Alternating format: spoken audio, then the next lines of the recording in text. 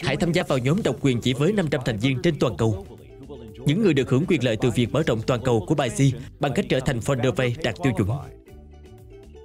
Để đạt tiêu chuẩn thật dễ dàng. Đầu tiên, hãy cập nhật gói dịch vụ cửa hàng đã thanh toán.